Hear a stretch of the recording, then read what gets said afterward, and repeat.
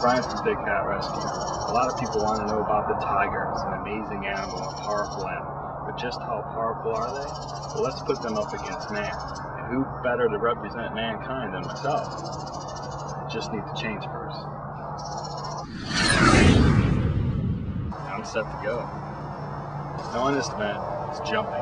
Tigers can jump easily 12 to 15 feet across. They are amazing animals. I think I can compete with that.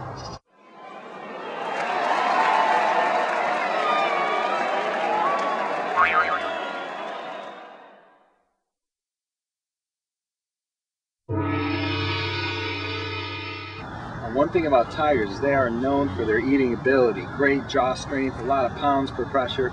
They can really crunch through a lot of bones and meat, you know. Obviously, to get through that hoofstock animal, they got to hurry up and eat it. So this next contest is the chicken eating contest. First up is Flavio. Here you go, Flav. Start your clock. He's going to take it over there.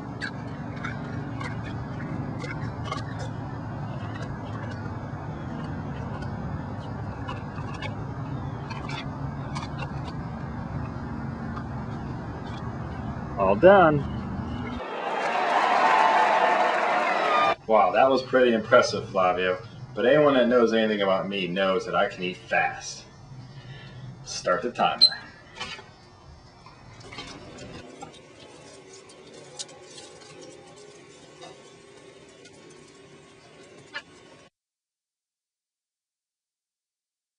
I'm through for it.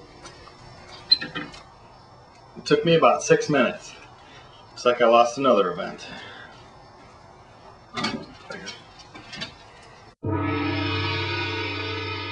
Another cool thing about tigers is their ability to hunt. These cats are unbelievable. From the small little peacocks, the big wild boars, they need to take down this prey fast and get a good shot at the throat or a kill bite. Now, the key to hunting is getting close to the prey. Tigers can run fast, but not for very long. So you have to be able to sneak up on your prey. Now, simulate prey, I found the poodle.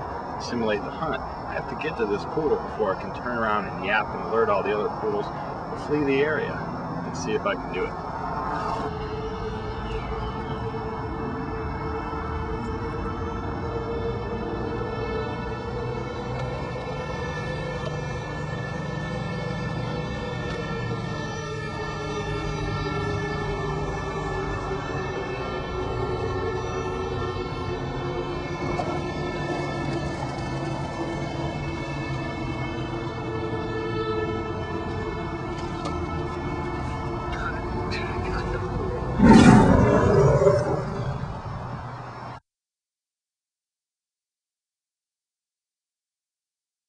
Well, as you can see, tigers are amazing and powerful animals.